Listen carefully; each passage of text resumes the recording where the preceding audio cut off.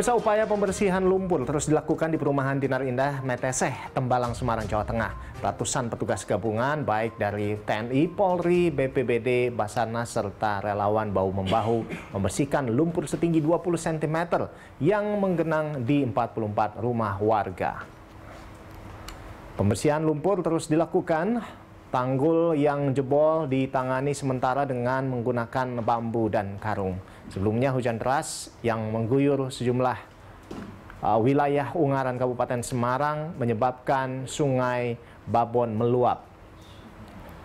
Derasnya arus yang menerjang tanggul pembatas milik perumahan Dinar Indah menyebabkan banjir bandang. Ketinggian banjir bahkan mencapai lebih dari 2 meter.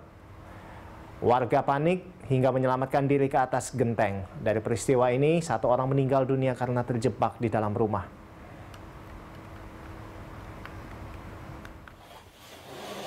Semua barang uh, hancur, semua barang uh, roboh gitu ya, berantakan di dalam rumah.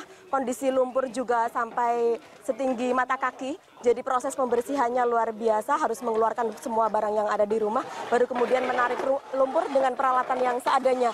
Jadi penanganannya nanti sementara kita pakai sandbag sama bambu, dikasih sesek di sandbag untuk menangani yang jebol 20 meteran itu mas. Jadi untuk berikutnya kita masih nunggu instruksi dari pimpinan untuk perkuatan selanjutnya seperti apa. Untuk daruratnya kita kasih sesek bambu sama